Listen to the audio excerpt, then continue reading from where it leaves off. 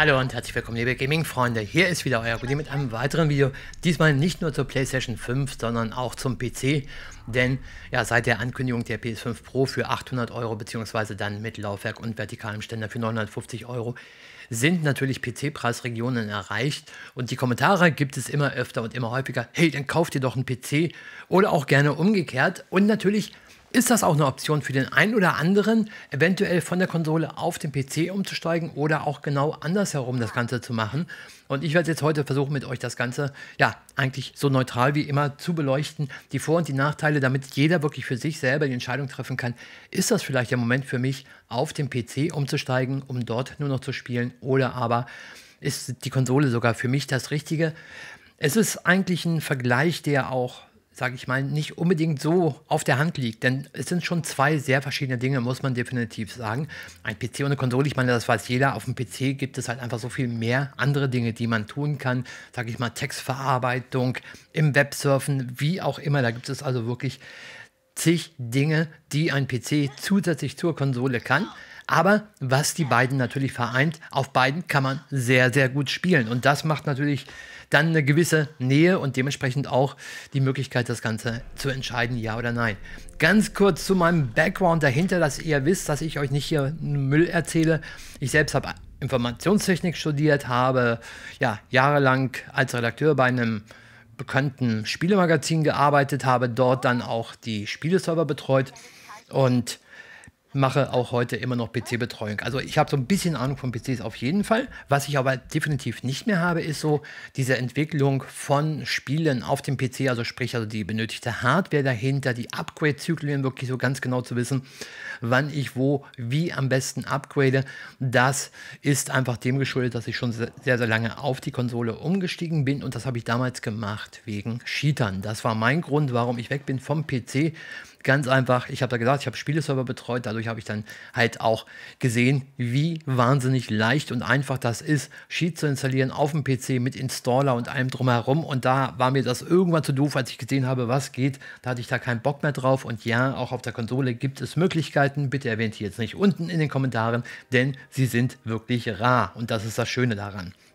So viel zum Vorfeld. Also, man kann auf beiden zocken. PC, wie gesagt, man kann Textverarbeitung und Co. machen. Ist dann eventuell halt ein Zugewinn, den man hat, wenn man nicht sowieso schon diese ganzen Sachen eher vielleicht heutzutage auf dem Tablet macht, auf dem Chromebook oder halt auf dem Mac oder wie auch immer. Da gibt es ja nun auch zig Varianten. Was man auf alle Fälle sagen muss, finde ich, bevor ein Konsolenspieler auf den PC umsteigt, er sollte eine gewisse Technikaffinität auf jeden Fall mitbringen. Auf jeden Fall mitbringen, denn ein PC brauchen wir nicht drüber zu reden, ist komplizierter, ist komplexer als eine Konsole. Da ist, glaube ich, gar keine Frage offen. Windows selbst ist dort oft eine Zumutung als Betriebssystem, finde ich persönlich. Wobei ich dann Microsoft ein ganz kleines bisschen in Schutz nehme. Ich meine, es gibt auch so viele Tausende von Konfigurationen. Das ist natürlich dann nicht leicht, dort was auf die Bühne zu bringen, was dann wirklich immer einwandfrei läuft. Den Preis haben wir eben gerade schon angesprochen gehabt bei der PS5, beim PC nicht. Ich hatte aber bereits ein Video dazu gemacht. Da ist man eigentlich, sage ich mal, doch relativ gut zu dem Ergebnis gekommen. Man muss schon so 1200 Euro ausgeben, um auf dem Niveau einer PS5 Pro zu spielen. Die Konsole ist noch nicht draußen. Das ist alles noch so ein bisschen natürlich in den Sternen. Das ist so ein bisschen in die Glaskugel gucken. Aber im Großen und Ganzen, nach dem, was bisher bekannt ist, kann man davon ungefähr ausgehen, dass man sich einen PC um die 1200 Euro zusammenstellen würde. Ich würde beinahe sogar fast auf 1500 hochgehen. Aber damit ist man dann natürlich auch wieder gut gerüstet.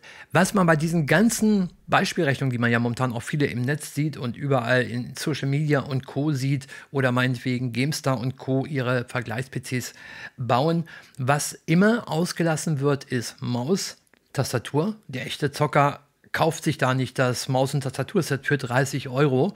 Da ist das dann schon eine Razer oder sonst irgendwas und eine mechanische Tastatur, wo man auch nochmal richtig Geld ausgeben kann. Also, aber es kommt generell Maus und Tastatur auf alle Fälle oben drauf. Ein Mikrofon muss irgendwie her, wenn wir dann online spielen wollen und uns mit Menschen unterhalten möchten. Dann noch ein Controller, damit man halt auch ja, Controllerspiele spielen kann oder besser gesagt halt um den Vergleich natürlich zu einer Konsole zu haben. Und der Monitor ist so eine Sache, da weiß ich immer nicht, ob man den wirklich noch mit reinrechnen sollte, weil wenn ich den Monitor auch noch angehe, dann kann ich auch noch generell den Ton angehen, denn 80, 90, 95 Prozent der Monitore hören sich einfach grottig an, da spielt kein Mensch drauf. Und dementsprechend kommt dann entweder ein Headset dran oder vernünftige Boxen. Und ein TV da kann man den Ton immer ertragen, auf alle Fälle. Und die sind teilweise auch einfach sehr, sehr gut. Dann hat man sowieso vielleicht eine Soundbar dran, von vornherein schon. Also das ist man beim Preislichen, muss man da auf alle Fälle noch diese Sachen schon so ein klein wenig mit einberechnen. Jetzt kommen wir natürlich zum Bequemlichkeitsfaktor. Ne? Das ist ja immer wieder der, der der Konsole groß angerechnet wird und der natürlich auch seine Berechtigung hat. Wir beginnen erst einmal ganz, ganz am Anfang. Ich marschiere rein in den nächsten Mediamarkt, schnappe mir eine PS5 aus dem Regal, gehe nach Hause, schließe die an, erstelle meinen Account und bin fertig. Ich bin komplett spielbereit. Mehr brauche ich nicht zu tun. Konsole kaufen, HDMI anschließen, PSN-Account erstellen, Spiel runterladen, zocken. Das ist es. Beim PC ist es schon so, am besten, ich mache mich erstmal ein, zwei, drei Wochen schlau, dass ich weiß, welche Komponenten ich kaufen sollte und kaufe am besten keinen von der Stange. Zum Glück gibt es mittlerweile genug PC-Händler, die einem auch anbieten, die individuelle Konfiguration fertig zusammenzubauen, wenn man sich das selber nicht zutraut und bekommt dann halt wirklich einen vernünftigen Gaming-PC nach Hause geschickt, der dann schon mal voreingerichtet ist und natürlich, wie gesagt, alle Komponenten verbaut sind. Dann installieren wir erstmal, äh, besser gesagt, wir installieren nicht Windows. Windows ist zur Hälfte installiert. Dann fragt uns Windows 10, 12 Mal, ob wir all unsere privaten Daten denn nicht gerne an Microsoft schicken möchten. Da sagen wir tausendmal nein. Dann startet irgendwann Windows nach dem dritten Update endlich neu. So, jetzt will ich mir erstmal einen vernünftigen Browser installieren, weil mit Edge will keiner leben. Dann fragt mich Edge noch zehnmal, ob ich nicht eventuell meine ganzen privaten Daten an Microsoft geben möchte. Und dann habe ich endlich Chrome drauf. Und wenn ich Chrome dann drauf habe oder Firefox oder Opera, dann installiere ich Steam. Und dann kann es praktisch schon losgehen. Ich weiß jetzt nicht ganz genau, da muss ich ein bisschen ja, jetzt raten, ob man heutzutage noch Teamspeak oder Discord oder sonst was nutzt für den Sprachchat. Ich gehe mal von aus, ja. Also installiere ich nochmal Teamspeak oder Discord und dann mache ich nochmal wahrscheinlich ein Update, weil dann Windows mittlerweile dann gemerkt hat, oh Mensch, ich habe ja Updates. Und wenn man die gemacht hat, neu gestartet hat, dann fällt Windows auf, oh, da gibt es noch mehr Updates, die machen wir jetzt gleich mal. Also es ist natürlich ein längerer Weg, ehe das Ganze losgeht. Und das ist jetzt wirklich, Leute, rein objektiv betrachtet aus jahrelanger Erfahrung. Und ich denke, ihr kennt es ganz genauso. Man muss an der Stelle mal so ein bisschen ehrlich zu sich sein. Und das ist auch beim Couch Gaming dann natürlich das nächste wo wir sind vom Punkt her vom Bequemlichkeitsfaktor. Und auch da habe ich viele Kommentare gelesen. Hey, wenn du den PC richtig einrichtest, dann ist das genau dasselbe Erlebnis wie mit einer Konsole. Dann gibt es aber auch Leute, die schreiben, ich kaufe mir einen Couchmaster. Wusste ich überhaupt gar nicht, was das ist. Das gibt. Couchmaster ist sowas wie so ein Kissen, was man sich auf die, ja, über die Beine legt, wo man dann bequem Tastatur und Maus bedienen kann damit man das dann halt auch auf der Couch dann im Notfall nutzen kann. Denn es wird immer wieder, und auch da bitte, liebe PC-Spieler, seid ehrlich zu euch selbst, es wird immer wieder Gründe geben, wo man dann doch nochmal Tastatur und Maus benötigt sei es, dass Windows gerade sagt, jetzt möchte ich ein Update machen oder es kommt irgendeine andere dumme Abfrage, die man gerade in dem Moment nicht haben wollte, muss man kurz mit der Maus draufklicken und ja, muss man kurz mit der Maus draufklicken. Ich weiß nicht, ob es da vielleicht Tools gibt, die wirklich zu 100% dafür sorgen, dass man das komplett dann auch über einen Controller machen könnte. Da muss ich passen. Könnt ihr gerne unten reinschreiben, wenn das möglich sein sollte. Aber wie gesagt, ich denke, im Großen und Ganzen wird es immer wieder ab und zu mal einen Punkt geben, haben auch einige Leute geschrieben. Ich denke mal, das passt. Damit kommen wir zum nächsten Punkt, der Spieleauswahl. Und bei der Spieleauswahl hat der PC ganz klar ganz weit die Nase vorne. Denn die Spieleauswahl ist einfach riesengroß. Es gibt tausend Indie-Spiele, also nicht nur tausend, es gibt noch mehr.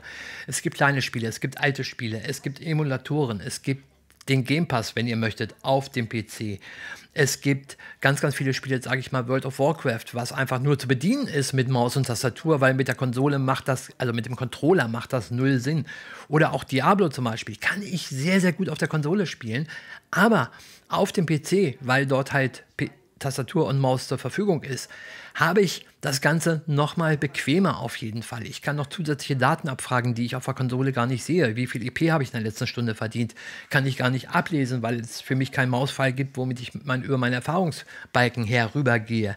Also Da ist definitiv der PC ganz, ganz weit vorne bei der Auswahl der Spiele. Dann kann ich Mods installieren. Oder halt, ich nutze auch Sachen wie Sheet Engine, um mir in irgendeinem Spiel ganz viel Geld, Singleplayer-Spiel, ganz viel Geld aufs Konto zu packen, weil ich keinen Bock habe, jetzt ewig zu grinden und spiele halt einfach das Spiel auf die Art und Weise, wie es mir Spaß macht. Der Negativpunkt sind natürlich die Exklusivspiele. God of War Ragnarök jetzt erst gekommen auf dem PC. Ich rede gar nicht von GTA 6, ne? Wissen wir alle, das sind natürlich Sachen, da muss ich auf dem PC entweder ewig warten oder ich bekomme sie gar nicht. Das ist ein kleiner Nachteil, was ein kleiner Nachteil? Also für mich ist das natürlich persönlich ein Riesennachteil, wenn ich dann halt solche wirklichen zum großen Teil Top-Spiele erst ganz, ganz spät spielen kann. Ja, wenn wir von Spielen reden, dann kommen wir zu den Spielpreisen, denn auf dem PC ist alles so viel günstiger. Es ist auf dem PC günstiger, das auf jeden Fall. Man darf jetzt natürlich die Anschaffungskosten ne, nicht unbedingt mit reinrechnen, weil sonst wird aus dem Ganzen wieder so eine Sache, na, lohnt sich das wirklich? Da kommt es wirklich drauf an, wie viele Spiele kaufe ich denn überhaupt im Jahr? Ne? Kaufe ich ein, zwei, drei und dann habe ich natürlich lange nicht die Mehrkosten für die Anschaffung des PCs heraus. Die muss man ja immer berechnen, dass ich diese Mehrkosten ja auch wieder reinbekommen muss. Selbst dann, wenn ich meine 72 Euro im Jahr für PS Plus zahle, um Cloud-Speicher und Online-Game zu haben. Hier ist auch wieder von Spieler zu Spieler unterschiedlich. Brauche ich denn PS Plus? Also ich meine, abgesehen davon, dass ich ein paar Spiele damit natürlich auch noch geschenkt bekomme jeden Monat, sondern brauche ich es denn überhaupt? Ne? Spiele ich online? Nee, spiele ich nicht, dann brauche ich kein PS Plus. Cloud Save, ja, ist nett. Ich, ich persönlich als Guidemacher habe es schon oft benötigt und war froh drüber, es zu haben. Aber der normale Spieler braucht es doch gar nicht, sind wir doch mal ehrlich. Und wenn ich dann von Konsole A also von PS4 auf PS5 umziehe, dann, ja, dann werden die Daten übertragen, da gehen meine Saves genauso mit rüber. Eigentlich braucht man den Cloud Save nicht. Das bedeutet, es gibt viele Spieler da draußen, die halt diese 72 Euro im Jahr nicht für PS Plus ausgeben müssen. Das muss man mitberechnen. So, ich habe mir jetzt mal ein paar Spiele geschnappt.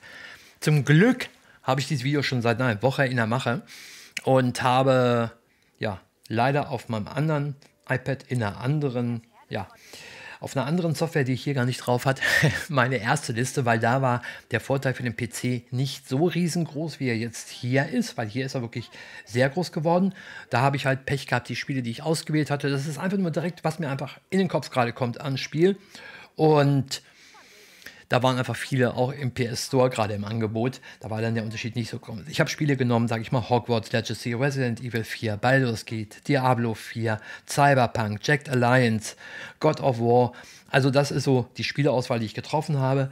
Habe dabei Steam und den Epic Game Store berücksichtigt, habe also dort jeweils die günstigsten Preise genommen, verglichen dann mit dem PS Store und dann kam summa summarum heraus eine Ersparnis bei diesen 14 Spielen von 167 Euro. Also ich habe die Spiele auf dem PC erhalten für 167 Euro weniger. Das ist natürlich auf alle Fälle auch eine gute Summe. Aber 167 Euro, ja, selbst wenn wir jetzt noch PS Plus oben drauf rechnen mit 72, dann ist das immer noch nicht an der Stelle angekommen, wo wir die Mehrkosten, die wir bei der Anschaffung des PCs haben, rechnen können. Einen weiteren Kostenpunkt haben wir auch noch auf der Liste, das sind die Upgrade-Kosten. Die Upgrade-Kosten würde ich pro PC packen eigentlich. Ganz einfach deswegen, wie gesagt, das ist genau das Thema, wo ich nicht so hundertprozentig auf den Laufenden bin. Wie oft muss ich upgraden? Ich weiß, dass es definitiv nicht mehr so oft ist wie früher. Früher war es so, dass man in den Laden gegangen hat, sich eine neue Grafikkarte gekauft, hat sich gefreut wie Bolle, ist nach Hause, hat die in den Rechner reingeschraubt und hat dann festgestellt, oh scheiße, schon wieder veraltet. Das war früher wirklich so schlimm. Aus den Zeiten sind wir zum Glück lange, lange raus. PCs machen sehr, sehr lange ihren Job, ehe sie ja dann aufgrund von neuen Spielen und Co. dann nach dem Upgrade schreien. Und da kann man natürlich auch gerne 1500 Euro für eine GTX 5090 ist, glaube ich, geplant, der Preis von 1500 Euro nach den ersten Leaks, die ich jetzt gesehen habe. Also da kann man viel, viel Geld lassen. Wie viel Geld man dann wirklich reinstecken muss, nach wie vielen Jahren, muss ich euch schuldig bleiben. Das kann ich wirklich nicht ganz genau ab Wegen, aber auf alle Fälle ist es natürlich der Fall, dass ich beim PC upgraden kann. Was ich bei der Konsole nur machen kann, wenn ich jetzt zum Beispiel upgrade, indem ich eine Pro kaufe und dann halt 800 Euro für das Upgrade ausgebe nach Summe X an Jahren. Und das ist eigentlich schon alles an Unterschieden, die mir persönlich eingefallen sind. Wie gesagt, ich habe über dieses Video echt eine ganze Woche nachgedacht, mindestens eine Woche, und habe da versucht, wirklich alle Aspekte zu beleuchten. Abschließend fällt mir nur ein, es gibt auch Leute, die wollen einfach Konsole spielen. Lasst sie doch, lasst sie doch. Manche möchten halt einfach Konsole spielen, weil sie es halt einfach diesen Couch-Faktor einfach extrem wichtig für sich nehmen, was ich auch total verstehen kann, die einfach Bock haben, nach Hause zu gehen, die Konsole einzuschalten, dann, keine Ahnung, 10, 15 Minuten irgendwas spielen. Ganz easy peasy, wenn man möchte. Hier in die Party rein mit ein paar Kumpels, da in eine Party rein mit ein paar Kumpels. Und das war's. Und die anderen wiederum, die möchten halt erstmal ihren PC starten, feststellen, oh scheiße, ich habe nur ein paar Minuten, aber gerade jetzt hat ausgerechnet Windows Update gemacht. Ich habe vergessen, rechtzeitig auf den Knopf zu klicken für bitte jetzt nicht machen, sondern heute Nacht. Und solche Sachen passieren halt. Oder es gab halt ein Update und danach läuft irgendwas nicht. Dafür gibt es ja diese PC-Foren, die voll sind von oben bis unten mit Problemen, die halt immer wieder auftreten können. Und wenn man diese Probleme vermeiden möchte, die immer wieder auftreten können, ist man einfach mit der Konsole auf der sicheren Seite. Muss man ganz offen, glaube ich, zugeben. Und ich hoffe, dass das auch wirklich jetzt von mir neutral für euch rüberkam. Ich habe es wirklich probiert, da keinerlei Vorbehalte irgendwie zu haben. Ich meine, ich habe auch gar keine, abgesehen davon. In dem Sinne hoffe ich auf alle Fälle, das Video hat euch geholfen, eine Entscheidung zu treffen für euch persönlich indem ihr mal die ganzen Vor- und Nachteile gesehen habt, gegeneinander gegenübergestellt und so entscheiden könnt, was das Richtige für euch ist. Ich danke euch fürs Dabeisein. Über eure regen Kommentare würde ich mich sehr freuen. Ich sage bis zum nächsten Mal. So long, goodbye. Keep gaming. Euer Goodie.